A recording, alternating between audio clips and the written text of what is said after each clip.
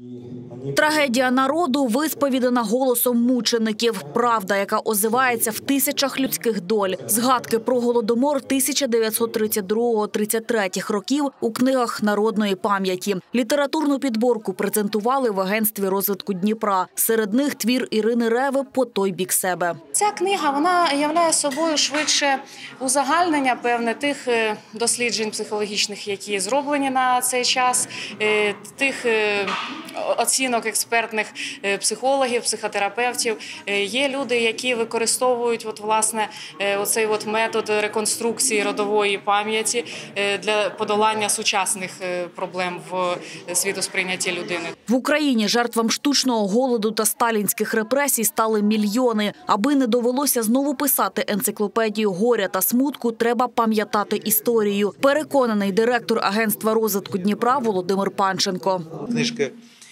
Ірини Реви, вона взагалі, начебто, не про голодомор, вона про сучасність. І це книжка про те, е, яким чином голодомор впливає там чи геноцид, яким, яким чином він впливає на наступні покоління. Це лише невеличка частка того, що написано про голодомор. Експерти вважають, його наслідки й досі впливають на людську модель поведінки та стан здоров'я. Навіть через декілька поколінь люди мають схильність до страхів та фобій. Аліна Мирко, Марія Бондар, Юрій Краснощок, Open News, телеканал відкритий.